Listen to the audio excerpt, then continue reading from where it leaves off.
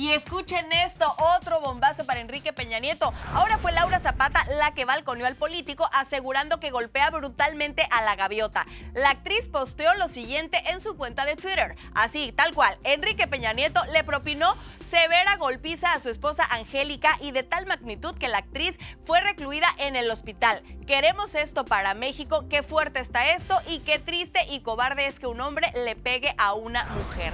Yo creo que, es un tema muy delicado y sobre todo a tan poco tiempo de las elecciones, pero recordemos que aquí estuvo Agustín Estrada con nosotros dando una entrevista y él mismo contó que corría peligro eh, Angélica Rivera y si no, vamos a recordar. Por supuesto que corre peligro y el tiempo nos dará la razón. Por supuesto que Enrique Peña Nieto le va a hacer mucho daño.